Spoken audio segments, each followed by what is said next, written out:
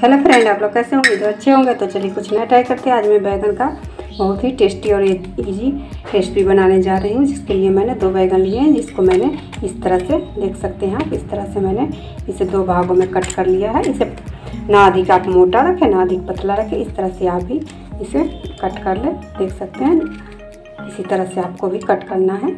उसके बाद में मैं आगे का जैसे जैसे मैं सारे सामग्री डालूँगी वैसे वैसे आप लोगों को बताती चलूँगी। तरह से। आप देख सकते हैं कि मैंने बैंगन को सारे को कट कर लिया है, इस तरह से। मैंने एक मिर्ची लिया है, जिसको मैं कट करूँगी, जीरा है। मैंने आधी चम्मच के लगभग जीरा लिया है, सरसों है, सरसों के कुछ दाने हैं, आधी चम्मच के लगभग ये भी है। मैंने लहसुन लिए हैं, लहसुन मैंने कट लिए हैं आप भी इसे अच्छे से ग्रेटर की सहायता से कट कर ले। और आप ये देख सकते हैं, मैंने अदरक है, अदरक को मैंने सुखा करके उसे ग्राइंड कर लिया है। जो आपको कभी ख़राब भी नहीं होता है जल्दी, बस की रेसिपी मैं आप लोगों को दे दूँगी। तो चलिए मैं आगे का प्रोसेस शुरू करती हूँ। एक से दो चम्मच के लगभग मैंने तेल लिए हैं, जिसे मैंने गर्म कर लिए हैं। आप देख सकते हैं, आप सबसे पहले इसमें लहसुन डालें, क्योंकि लहसुन रखने में थोड़ा टाइम भी लगता है इसे पकने में, इसलिए सबसे पहले आप इसे डालें। मैंने पाँच सौ आठ लहसुन को कटर की सहायता से इसे थोड़े कट कर लिए हैं। आप इसी तरह से पहले ये हल्का सा ब्राउन हो जाए, उसके बाद में मैं सारे करूँगी, आप देख सकते हैं, इसका कलर चेंज हो रहा है। इसमें आप एक मिर्च मैंने कट किए हैं और जीरा आठ चम्मच के लगभग मैंने डाले हैं इसमें। देख सकते हैं, इस तरह से आप भी इसमें डालें। सरसों के कुछ दाने इसे भी आप इसमें ऐड कर लें। देख सकते हैं, इसी तरह से आप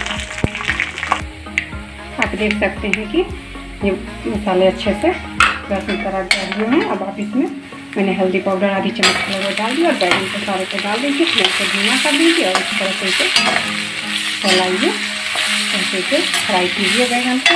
बहुत ही यमी और टेस्टी होता है। आप इसी तरह से बनाए। इसमें आधी चम्मच के लगभग मैं नमक इसमें आधी चम्मच के लगभग मैंने नमक ऐड कर लिया है इसे भी इसमें डाल दो, अदरक जो मैंने फिर उसे भी ऐड कर लिया, सारे मतलब सारे इंग्रीडियंट को मिक्स करके इसे आप दो मिनट के लिए ढक करके इसे फ्राई करके फ्राई करें इसे, थोड़ा सा तेज फ्लेम कर दें, और इसे ढक दें